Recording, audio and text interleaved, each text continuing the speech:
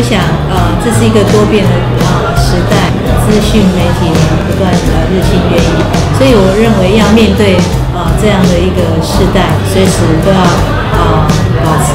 最高度的学习的热忱跟态度，要以一个求知若渴的这样的一个心态来迎接新的时代。那每天都要吸收呃不断来自四面八方不断的新的讯息，举例来说啊，就像我们公司是从事计程车产业，那我们一定要站在乘客的角度来去思考，如何提供给他呃更新、更好、更便利、更贴心的一些服务啊。举凡他从轿车的当中，我们要提供给他很多元的这个轿车的方式啊，那结合现在啊更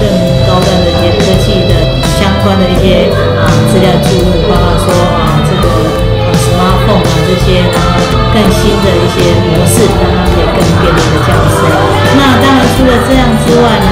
那他在下车的时候的一些付款，我们也提供给他很多很多不一样的一个选择。那再结合一些呃一些资料上的一些处理，他觉得做到这趟测试，我觉得是一个很愉悦的旅程。